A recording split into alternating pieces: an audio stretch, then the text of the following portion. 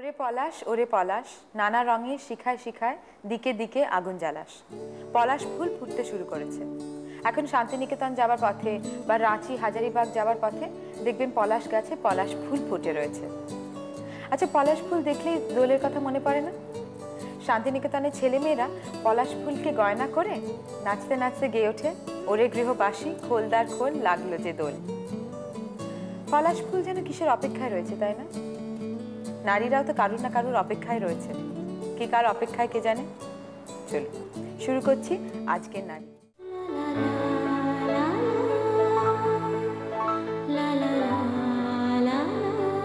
নমস্কার। নারীর কবলিকা নিয়ে এসেছি আপনাদের জন্য ফ্যাশন সেগমেন্ট আজ এই ফ্যাশন সেগমেন্টের ওয়ার্কশপে আমরা শিখব আমাদের বাড়িকে কি করে আরও সুন্দর ফ্যাশনেবল করে তোলা যায়। এবং তার জন্যই কথা বলব আমাদের অতিথি ফ্যাশন ডিজাইনার কৃষ্ণেন্দু ব্যানার্জির সঙ্গে। নমস্কার কৃষ্ণেন্দু দা। কৃষ্ণেন্দু দা আজকে আমাদের দর্শক বন্ধুদের জন্য তোমার কি উপহার আছে? বাড়িতে খুব সিম্পলভাবে কুশন কাভার তৈরি করা শেখানো। বাহ! তো তার জন্য আমাদের কি কি তার জন্য লাগছে সতেরো বাই সতেরো মোস্ট প্রবলি লাগে অ্যাকচুয়ালি ষোলো বাই ষোলো একটা কাপড় যেটা কুশনের জন্য একটা টিপিক্যাল সাইজ আর ধরে নেওয়া যায় আমরা সবাই আঁকতে পারি না। যার জন্য দরকার খুব প্লেন অ্যান্ড সিম্পল একটা স্কেল সেট স্কোয়ার পেন বা পেন্সিল। প্রথমে আমরা স্কেলটাকে ফেলে জাস্ট দুপাশ দিয়ে লাইন টেনে দেওয়া। স্কেলটা যেভাবে রয়েছে সেভাবেই দুপাশ দিয়ে লাইন টেনে দেওয়া। মানে এটা যে কোনো যারা একটু চালা চালাতে পারেন মানে স্কেল পেন্সিল চালানোর জন্য কোনো এক্সট্রা কিছু লাগছে। লাগে না। তো এরকম ভাবে জাস্ট টেনে দেওয়া। আর এই ধরনের সেট স্কোয়ার প্রায় প্রত্যেক বাড়িতেই পাওয়া যায়। তো এটাকেও জাস্ট ফেলে একটু চারপাশে লাইন টেনে দেওয়া। আচ্ছা। চারদিকে করে দেবো। চারদিকে করে দেবো এরকম ভাবে। তাতে কি হবে? একটা অন্যরকম এফেক্টও আসবে। এবার এর মাঝখানে একটা গোল কিছু করতে চাইছি। আমি গোল আঁকতে জানি না। ধরে নেওয়া যেতে পারে। আমি গোল আঁকতে পারি না। সেক্ষেত্রে বাটি কাপ প্রত্যেকের বাড়িতেই পাওয়া যায়। জাস্ট ফেলে আবার সেই পেন বা পেন্সিল দিয়ে করে দেওয়া যায়। হ্যাঁ। তাহলে একদম পরিষ্কার গোল ব্যাপারটা এসে গেল এবং প্রত্যেকটা সমান মাপের হলো। এইভাবে আমরা পুরোটা করে ফেললাম। আচ্ছা। দিয়ে তারপরে আমরা একটু রং দেবো। কি রং ফেব্রিক? রং। যে কোনো ফেব্রিক কালার মানে আমি আজকে ইউজ করছি টেরাকোটা কালার তো এর মানে এই নয় যে টেরাকোটা কালার দিয়েই করতে হবে। যে কোনো- যে কোনো- কালার দিয়ে করা যেতে পারে। আমরা একটু এখান থেকে এভাবে রংটা দিলাম এভাবে। ফেব্রিকটা যে কোনো মানে ধরনের থাকে। এবং খুব ইজি ব্যাপারটা। মানে রং বেরিয়ে গেলেও তাতে কোনো প্রবলেম নেই কারণ আমরা এরপরে একটু অন্য কিছু কাজ করব। এরকম ভাবে আমরা একটু রং দিয়ে দিলাম। পুরোটা জাস্ট সার্কেলটাকে ছেড়ে দিয়ে। আচ্ছা। আস্তে আস্তে আস্তে আস্তে পুরোটা। এবার এই মাঝখানে যে স্কেলের যে অংশটা রয়েছে সেটাকেও ভরাট করে দিলাম। সেম রংটা দিয়ে। ধরে নেওয়া গেল আপনারটাই যদি আমরা করি। দেখে- দেখে যদি কেউ করা যায় তাহলে সেক্ষেত্রে ওইটা দিয়েই পুরোটা করে দেওয়া যেতে পারে। এরকম ভাবেই আমরা পুরো রংটা করলাম। তো সেক্ষেত্রে কেমন দেখতে হবে ব্যাপারটা সেটা আমরা একটু দেখি কৃষ্ণেন্দুতে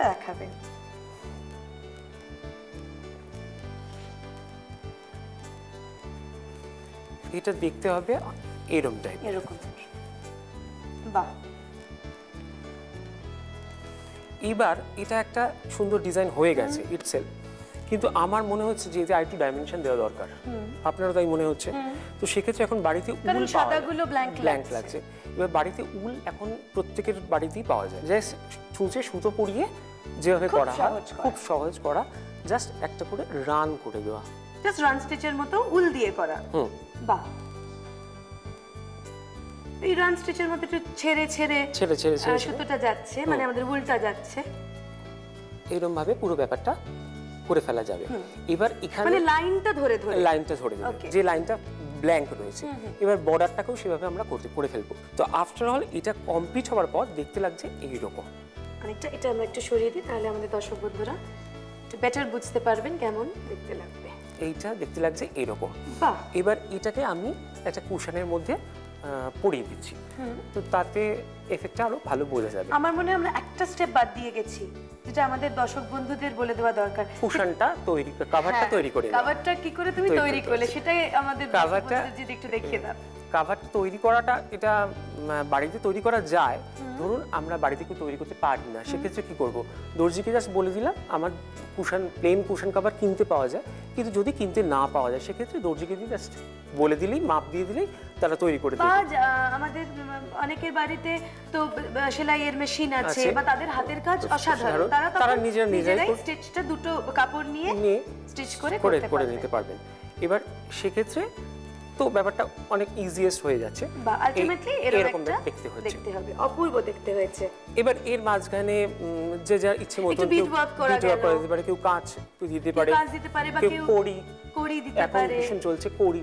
আর এই যে পুরো ব্যাপারটা তুমি করলে এই কোশ্চেনটা বানালে একটু যদি আমাদের দর্শক বন্ধুদের one by one step by step বলে দাও।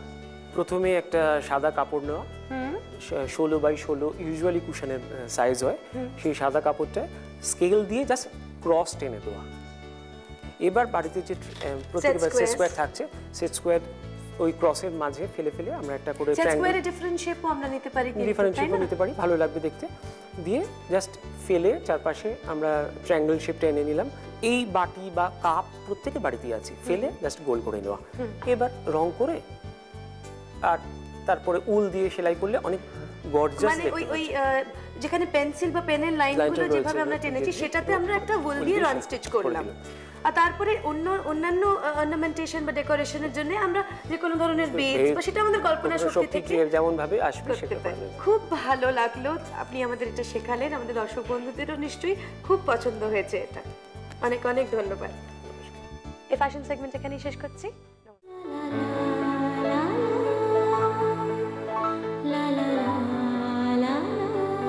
নমস্কার, চলে এসেছি নারীর পাঁচ মিশেল নিয়ে। আজকের যুগে সবাইকেই স্বাবলম্বী হতে হবে। আর স্বাবলম্বী হওয়ার জন্য কোনো না কোনো কাজে দক্ষতা আপনাকে দেখাতেই হবে।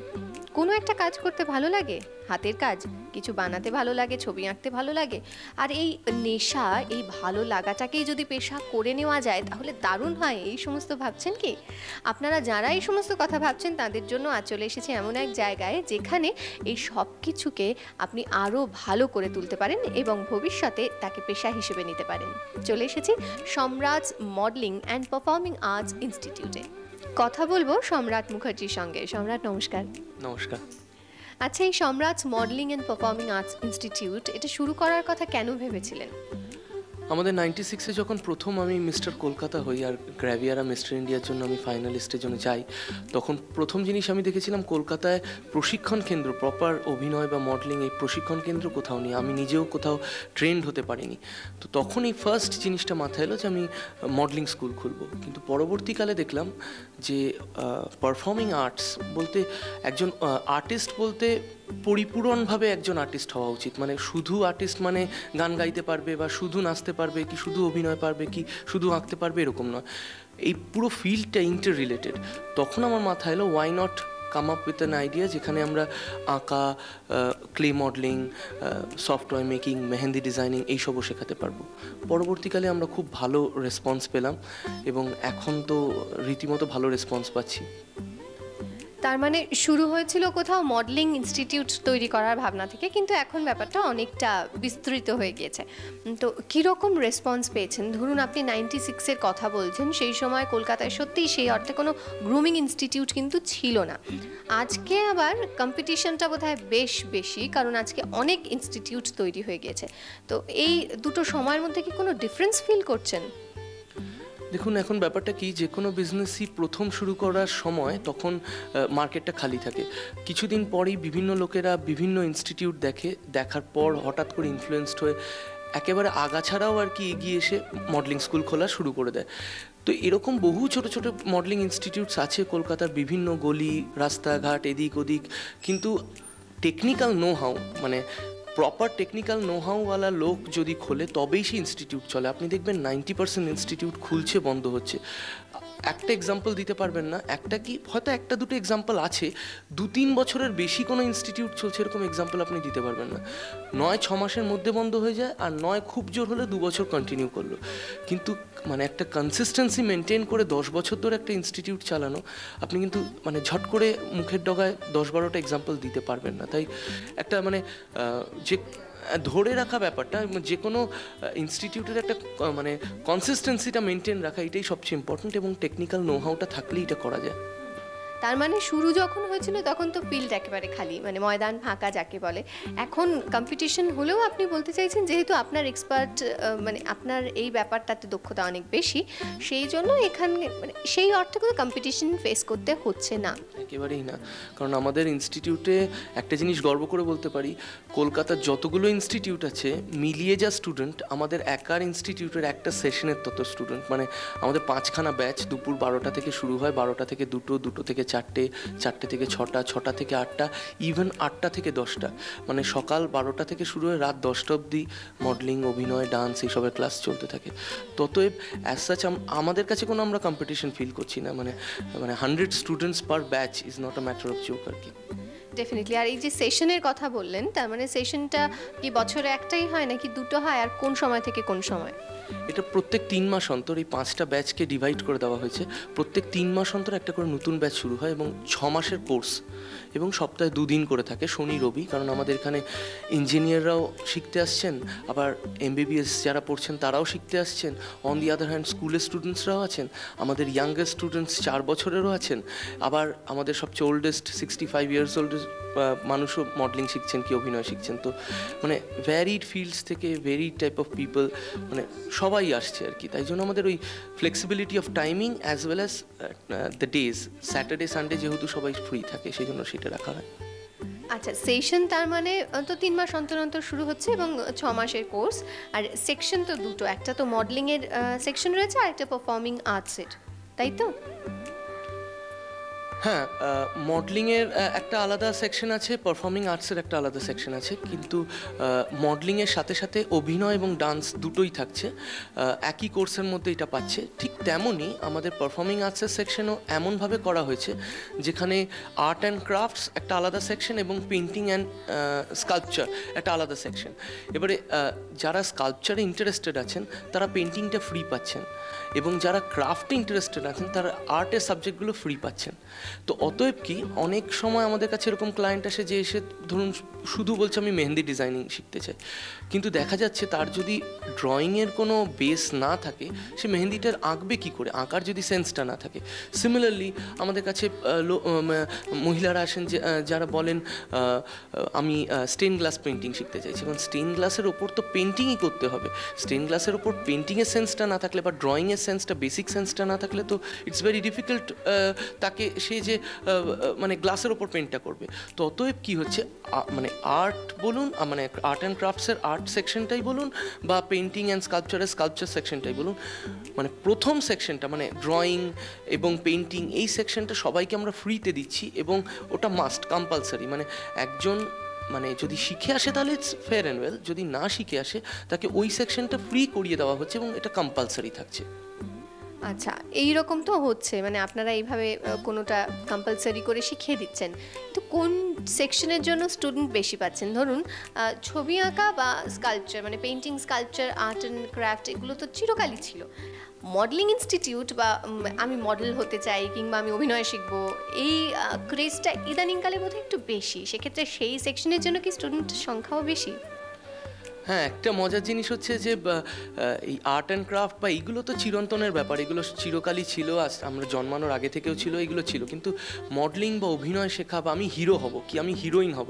এই কনসেপ্টটা আজ থেকে পাঁচ বছর আগে অবধি আমরা, আমি যখন স্কুল করেছিলাম মানে চালাচ্ছিলাম। আজ থেকে পাঁচ বছর আগে অবধি আমি কোনোদিন বাবা মাদের নিয়ে আসতে শুনিনি। মানে বাবা এসে ভর্তি করাচ্ছে ছেলেকে, আমার ছেলেকে আমি হিরো বানাতে চাই, আমি শুনতাম না। তখনও ছেলেমেয়েরা লুকিয়ে লুকিয়ে আসতো, কেউ পকেট মানি দিয়ে আসতো, কি কেউ হয়তো টিউশনি করছে, সেই থ্রু দিয়ে আসতো। কিন্তু এখন আমরা লাস্ট এক দেড় বছর কি দু বছর বলতে পারেন, এরকম স্টুডেন্টস পাচ্ছি যারা বাবারা নিয়ে আসছে যে আমি আমার ছেলেকে হিরো বানাতে চাই। মারা নিয়ে আসছে আমি মেয়েকে হিরোইন বানাতে চাই। পাঁচ বছরের মেয়ে আমাদের কাছে ভর্তি হচ্ছে, যে মেয়ে নিজে বলছে আমি হিরোইন হতে চাই। তো এরম ক্রেজ এই লেভেলে পৌঁছে গেছে ক্রেজটা কিন্তু এইটাও সত্যি কথা যে আমাদের সব কটা ক্লাস থেকে কিন্তু লোক আসছে। মানে এরম নয় যে খালি যে আপার স্টেটা থেকে আসছে, একটা হাই সোসাইটি থেকে আসছে, কি এরকমও নয় যে শুধু মিডল ক্লাস থেকে আসছে। আবার এরকমও নয় যে শুধু খুব লোয়ার মিডল ক্লাস থেকে আসছে। আমাদের কাছে এমনও স্টুডেন্ট আমরা পেয়েছি, মাছওয়ালা। যে মাছ বিক্রি করে বাজারে বসে, সে বিকেলবেলা সে মডেলিং শিখতে চাইছে। তো আমরা তাকে হান্ড্রেড পার্সেন্ট তাকে এনকারেজ করছি, কারণ কোনো কাজই ছোট কাজ নয়। সে- যদি সেই স্মার্টনেসটা ডেপিক্ট করতে পারে অন স্ক্রিন বা অন র্যাম্প ওয়াই নট তো তাই জন্য তাকে আমরা স্পেশাল ডিসকাউন্টও করিয়ে দিয়েছি। যেহেতু ছেলেটি আমাদেরকে পয়সা দিতে পারছিল না স্পেশাল ডিসকাউন্ট করে তাকে ফেসিলিটিটা করিয়ে দেওয়া হয়েছে। ততএব আমরা সব সেকশন থেকেই স্টুডেন্ট পাচ্ছি। কলকাতার বাইরে থেকে প্রচুর স্টুডেন্ট আসছে। চন্দননগর, চুচুড়া, আপনি বিশ্বাস করবেন না হলদিয়া থেকে একটি ছেলে এভরি ডে মানে শনি, রবি ডেলি প্যাসেঞ্জারি করে আপ ডাউন করে। ততএব মেয়েরা আসছে চুচুড়া, চন্দননগর থেকে। তারা মানে সেই নবদ্বীপ থেকে, তারা প্রথম দিকের ব্যাচগুলো নয়, বারোটা দুটো দুটো চারটের ব্যাচগুলো নেয় আর কি, যাতে বাড়ি তাড়াতাড়ি ফিরে যেতে পারে। ততএব মানে এখন আমাদের ভুল ভাবা হবে যদি আমরা ভাবি যে কলকাতারই খালি ছেলেমেয়েরা মডেলিং বা অভিনয় নিয়ে এক্সাইটেড কিন্তু এখন কিন্তু সবাই এক্সাইটেড অ্যাবাউট দ্য হোল ব্যাপার আর কি। আপাতত সময় ভীষণ কম, সেই জন্য এই সমস্ত সুযোগের কথা আপনারা সরাসরি এসে শুনলে খুব ভালো। আপাতত আমি ধন্যবাদ দিই, অসংখ্য ধন্যবাদ আপনাকে। আপনাদের একটাই কথা বলি, নামটা মনে রাখুন, Samrat modelling and performing arts institute. আর কোনো খবরের দরকার থাকলে নারীতে আমাকে চিঠি লিখতে ভুলবেন না। আজ আসি।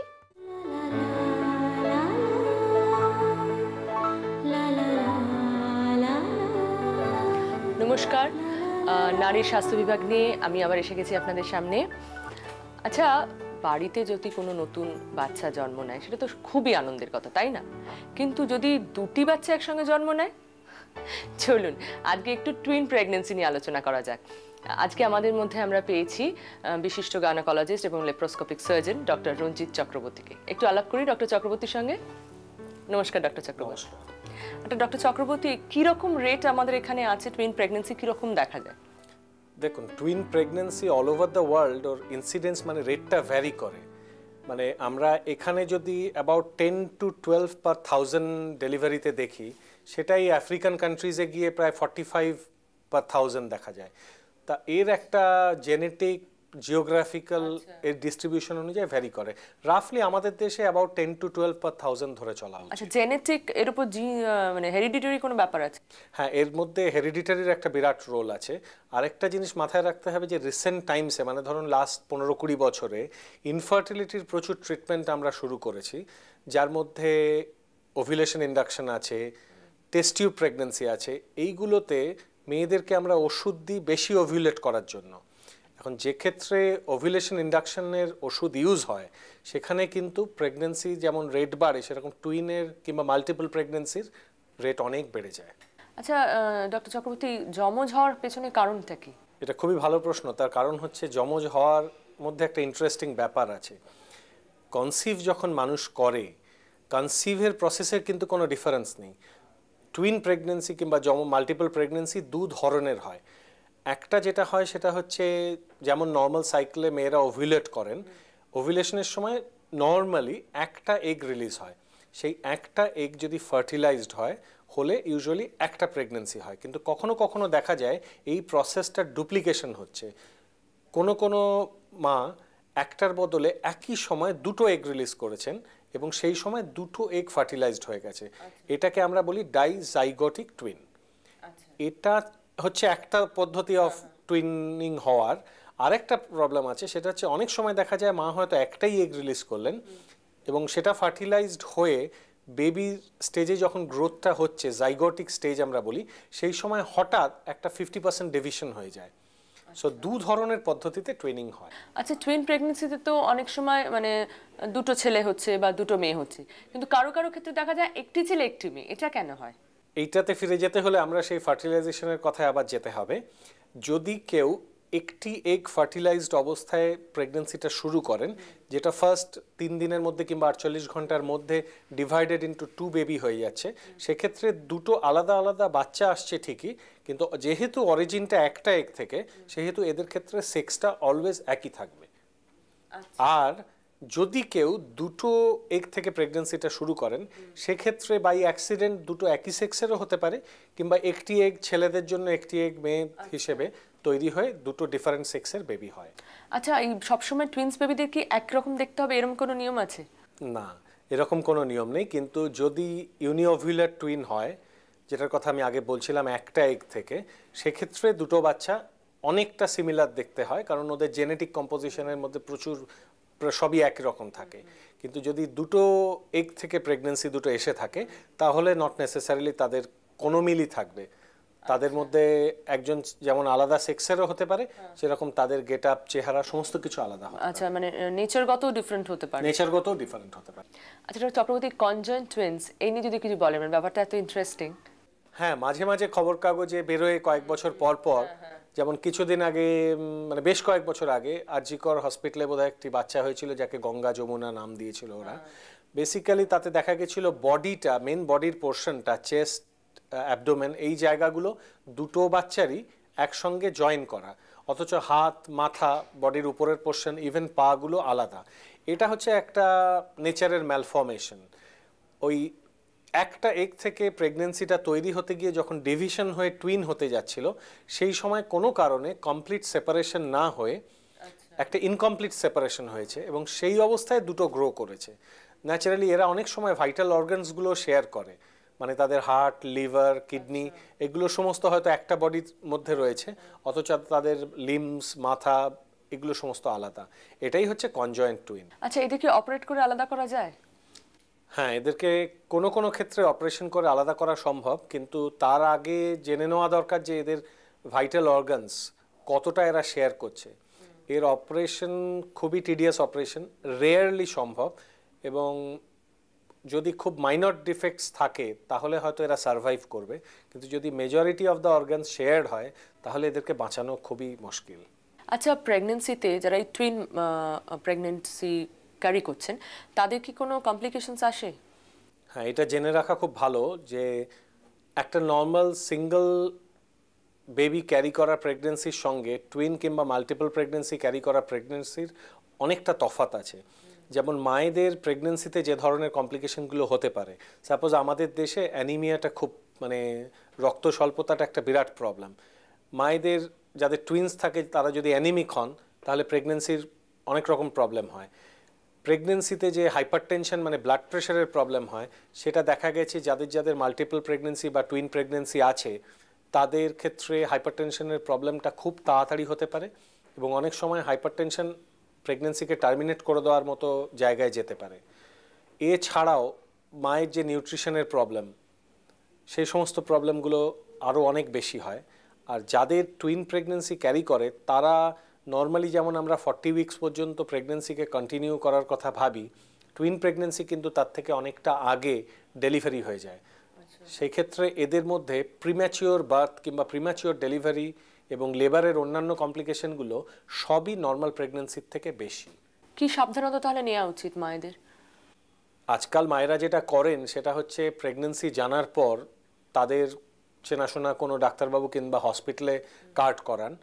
এবং যদি দেখা যায় যে টুইন প্রেগনেন্সি আছে কারণ আমরা আজকাল প্রেগনেন্সিতে প্রথমের দিকেই আলট্রাসাউন্ড করে দেখে নিই যে প্রেগনেন্সিটা কীরকম আছে টুইন আছে কিনা। তা যদি জানা যায় টুইন প্রেগনেন্সি আছে তাদের নিজের দিকেও খেয়ালটা ভালো করে দেওয়া উচিত। প্লাস তাদের রেগুলার অ্যান্টিনেটাল চেক মানে প্রেগনেন্সি যে চেক সেটা একমাত্র একদম নিয়ম বেঁধে ফলো করা উচিত। ওইখানে যেন কোনো নেগলেক্ট না হয়। কারণ কোনো রকম প্রেগনেন্সি কমপ্লিকেশন হলে তাদের ডাক্তাররা অনেক আগে তাহলে ডিটেক্ট করবার সুযোগটা পাবেন। আচ্ছা বেবির ওজন টুইন প্রেগনেন্সি এদের দু- দুটো বেবি তো? ওজনটা কীরকম কম হয় কি এদের? অনেক সময় দুটো বেবি থাকার জন্য ফার্স্ট হচ্ছে একটা স্পেসের প্রবলেম হয় জায়গার প্রবলেম সেকেন্ড হচ্ছে যে দুটো বেবি নিউট্রিশন সমানভাবে নাও পেতে পারে।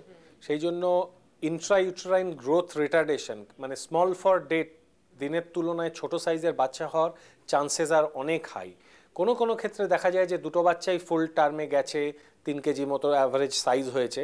কিন্তু ম্যাক্সিমাম ক্ষেত্রেই দেখা যায় দুটো বাচ্চাই একটু সাইজে ছোট কিংবা কোনো কোনো ক্ষেত্রে একটা আরেকটাকে অনেক সময় নিউট্রিশনালি ডিপ্রাইভও করে দেয়। আচ্ছা এদের লেবার সাধারণত কীরকম হয়? যেটা দেখা যায় সেটা হচ্ছে টুইন প্রেগনেন্সি রাফলি অ্যাবাউট থার্টি সিক্স উইক্সের কাছাকাছি মানে নর্মাল ডেলিভারি প্রায় তিন চার সপ্তাহ আগে হয়ে যায়। যদি বেবির পজিশন ঠিক থাকে তাহলে নর্মাল ডেলিভারি না হতে পারার মতো কোনো কারণ নেই। কিন্তু যেহেতু আগে বললাম যে টুইন প্রেগনেন্সিতে ম্যাটার্নাল কমপ্লিকেশন কি প্রেগনেন্সি কমপ্লিকেশন অনেক বেশি হয় সেহেতু যদি এর সঙ্গে কোনো কমপ্লিকেশন অ্যাড হয় সেক্ষেত্রে সিজারিয়ান করার প্রয়োজন হতে পারে। আর ডেলিভারির কোনো সতর্কতা ডেলিভারির সময়? ডেলিভারি টুইন প্রেগনেন্সি এমন একটা জায়গায় করা উচিত যে হসপিটালটা well equipped to deal with any emergency এবং বাচ্চার ইউনিট যেখানে খুব ভালো আছে।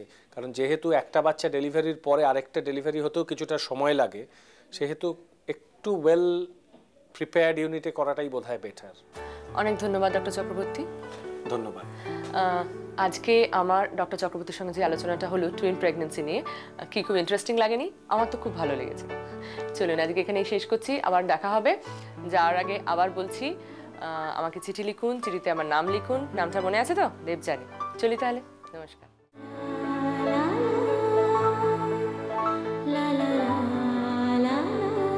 কেমন আছেন আপনারা? আমি খুব ভালোই আছি। কারণ আমি আপনাদের অনেক অনেক চিঠি পাচ্ছি। অনেক চিঠি মানে অনেক রেসিপি আর তার মধ্যে থেকে আমরা সেরা রেসিপিটা বেছেও নিচ্ছি। হুম ঠিক ধরেছেন আজকে আমার সঙ্গে আছেন স্বাগতা কর্মকার আর উনি আমাদের আজকের সেরা রেসিপিটা পাঠিয়েছেন। ওনার রেসিপিটার নাম হলো টক মিষ্টি কই। টক মিষ্টি কই। নতুন রকমের নামটা না নতুন রান্না হবে। আচ্ছা তুমি বলো কি কি লাগছে? আমার কই মাছ লাগছে। কই মাছটাকে কাটা আঁশটা ছাড়িয়ে সেটাকে হালকা করে ভেজে নিয়েছি। আর তারপরে পাঁচ মিনিট জল দিয়ে হালকা করে একটুখানি সেদ্ধ করে নেওয়া। আর লাগছে আমার এটা হচ্ছে টমেটো পেস্ট। এটা শুধুমাত্র টমেটোটাকে পেস্ট করেছি আর কিছু দিইনি আচ্ছা টমেটোটাকে পেস্ট করা হ্যাঁ, আছে। আর এটা হচ্ছে কাঁচা লঙ্কা গোটা কাঁচা লঙ্কা চিনি আর সর্ষে বাটা। আর ওটা হচ্ছে নুন হলুদ গুঁড়ো কাঁচা লঙ্কা কুচি আর লঙ্কা গুঁড়ো। আর একটু সাজা ডেকোরেশনের জন্য. আর বোধহয় সর্ষের তেল হ্যাঁ, লাগছে। সর্ষের তেল ঠিক আছে। গ্যাস অন করি? হ্যাঁ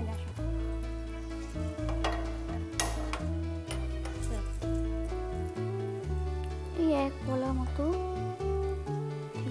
কম তেল হ্যাঁ, লাগছে। হ্যাঁ, খুব আগে তো বললে মাছটাকে বোধহয় একটু ভেজে হ্যাঁ মাছটাকে ভেজে নিয়েছি খুব হালকা করে ভেজে নিয়ে একটু সেদ্ধ করা আছে। সুতরাং ওটা কিছু করতে হবে না। কিছু করতে হবে। না। তেল আমার হয়ে গেছে। এবার আমি কাঁচা লঙ্কা দিচ্ছি এই এক চামচ পরিমাণ। এক চামচ মতো। এখানে বোধহয় একটা দুটো তিনটে চার হ্যাঁ। চারটে মাছ আছে চারটে মাছ আছে। আজকে একটু কমিয়ে দেবে।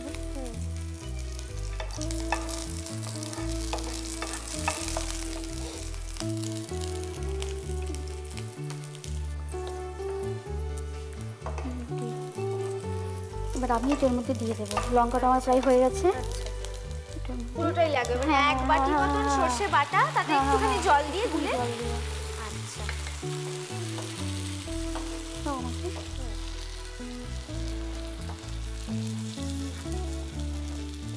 আচ্ছা এটা যে তুমি টক মিষ্টি কই বললে? হ্যাঁ। তো এটা কই মাছ ছাড়া অন্য কোনো মাছে হয়? পমফ্রেট মাছও হয় কিন্তু কই মাছটা দিয়ে যেরকম ভালো হয় সেরকম স্বাদটা অতটা ভালো হয়। একটু জল দাও একটু জল দাও এর কতটা বলবে? কতটা তুমি দাও আমি বলে দিচ্ছি। ঠিক আছে ঠিক আছে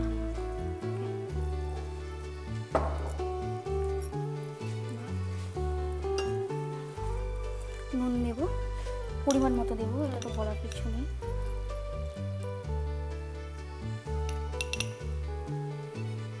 এটা দিয়ে জাস্ট ঝোলটা হ্যাঁ, হচ্ছে গ্রেভিটা হচ্ছে। এটা অবভিয়াসলি ভাতের সাথে খেতেই ভালো লাগবে। আর আমার মনে হয়। দুপুরবেলার জন্যই বেশি ভালো হবে লাঞ্চের জন্য। হলুদ। হ্যাঁ। আট চামচ মতো। লঙ্কা গুঁড়ো এটাও তাই। এটাও আট যে যেরকম ঝাল খাবে সে সেরকম দেবে। প্রথমে তো একটু কাঁচা লঙ্কা হ্যাঁ, দেওয়াই কাঁচা লঙ্কা দেওয়াই আছে। আমি একটু এরকম দিচ্ছি। আর এর সঙ্গেই দুটো কাঁচা লঙ্কা এমনি দিয়ে দেবো।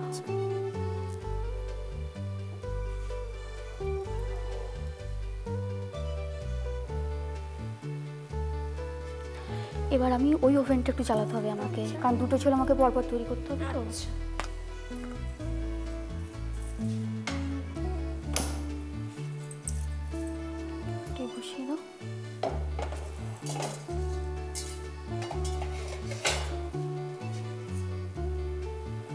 এখানে তোমাকে একটু সাহায্য করতে হবে কিন্তু। হ্যাঁ হ্যাঁ অবশ্যই। এখানেও কিন্তু আমি সেই এক পলা বা তার থেকে একটু কম তেল দিলাম। আচ্ছা। হ্যাঁ?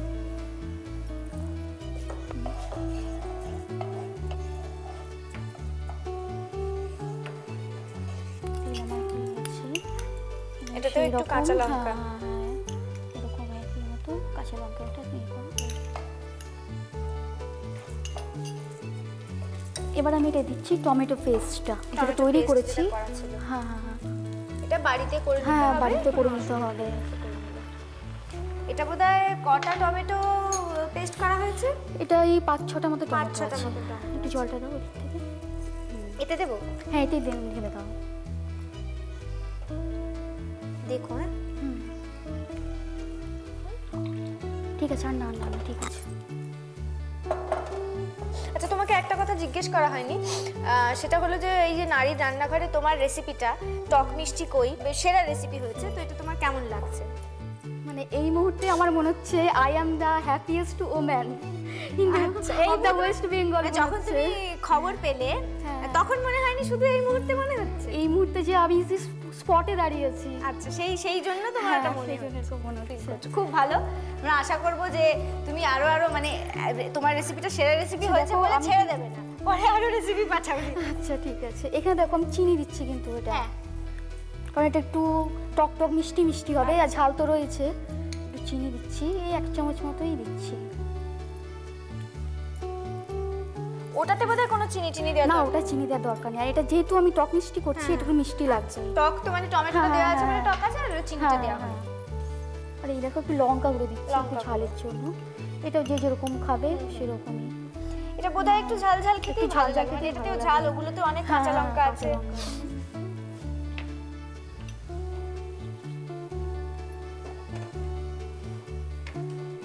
দুটো পাত্রে দু রকম গ্রেভি রান্না হচ্ছে। কাঁচা লঙ্কা আবার এর মধ্যেও দিয়ে দিলাম। ব্যাস। আচ্ছা এইটা কতক্ষণ ফোটাতে হবে? এটা তোমার একটু ঘন করতে হবে হ্যাঁ? ঘন। হয়ে যাওয়া পর্যন্ত আমাকে অপেক্ষা করতে করতে হবে। হ্যাঁ।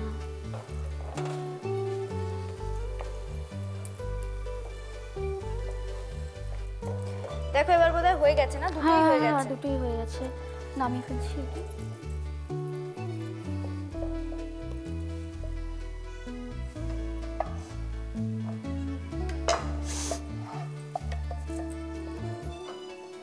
গ্যাসটা অফ করে দিই? দুটোই অফ করে দিই? হ্যাঁ হ্যাঁ দুটোই অফ করে দি ও দুটো আলাদা আলাদা পাত্রে আলাদা আলাদা পাত্রে ইয়ে। মানে কই মাছের দুদিকে দুরকম স্বাদ হবে। হ্যাঁ, একদিকে সর্ষে বাটার হ্যাঁ, স্বাদ একদিকে টক মিষ্টি মানে টমেটোর স্বাদ।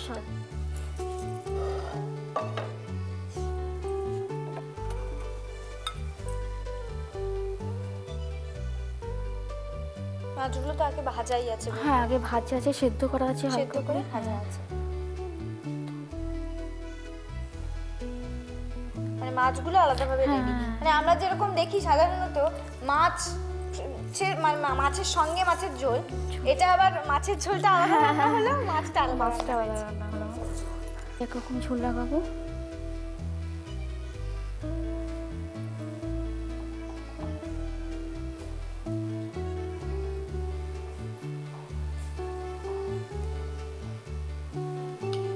আগে এগুলো দিয়ে দিই।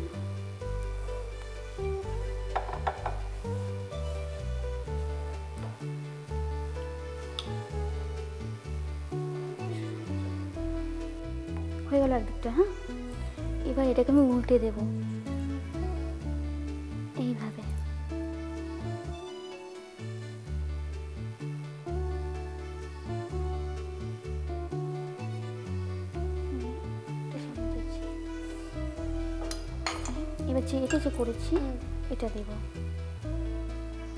যে টমেটো সসটা হ্যাঁ করা হলো। সর্ষে বাটাটা কি সুন্দর এক যে লাগিয়ে দিলে এটা কি সুন্দর আটকে আছে। আটকে আছে যে উল্টালে আমি পড়ে যাবে বোধহয়। কিন্তু আমার এই দিকটাই আমার মনে হয় আমার আমার বেশি খেতে ভালো লাগে। বেশি খেতে ভালো লাগে। টক মিষ্টি যেটা সেটা হ্যাঁ। ভীষণ ভালো লাগে। আর সর্ষে বাটা তো আমরা সেটাই সবসময় খেয়েই থাকি এইটা একটা কিন্তু নতুন ধরনের।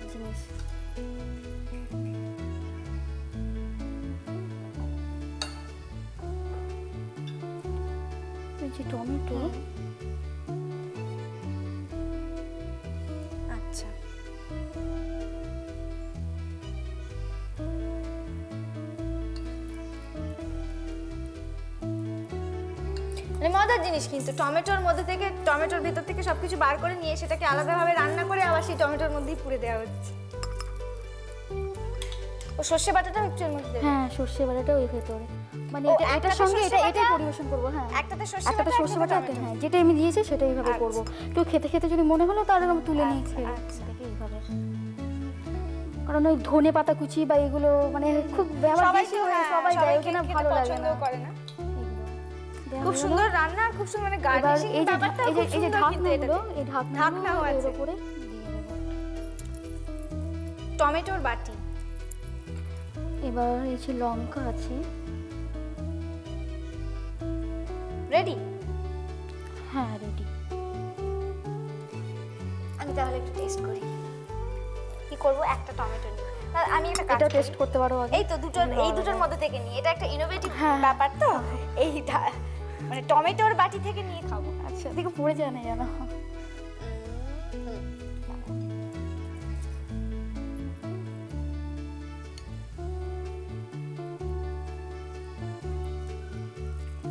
ভীষণ ভালো। ভালো হবে। দুটো চামচ যখন তুমি রেখেছো দুটো ইউজ করি।